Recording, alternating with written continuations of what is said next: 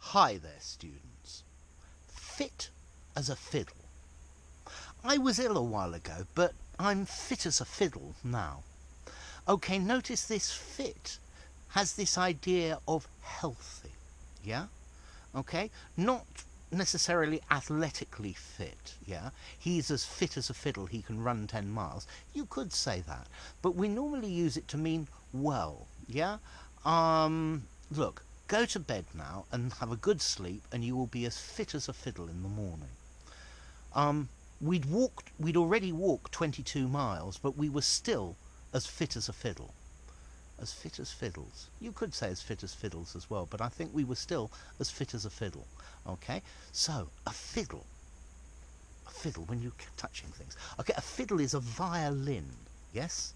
Okay, and I imagine that a violin, to play a violin, you need to be very agile with your fingers. Yeah?